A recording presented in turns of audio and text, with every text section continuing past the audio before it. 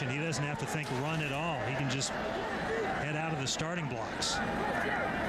Third down and 10. Locker finds some room, finds some time, finds a receiver, and has a touchdown. Kavario Middleton.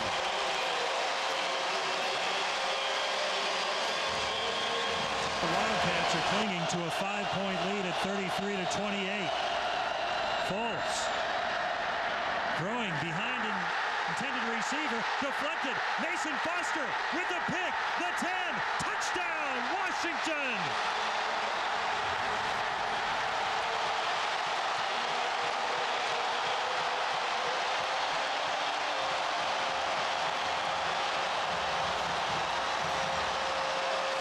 A stunning turn of events here at Husky Stadium. This will make a three-point game if they're able to convert.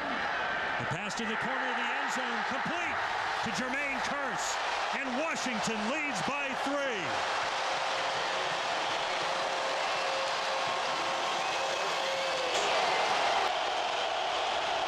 Fourth down and eight.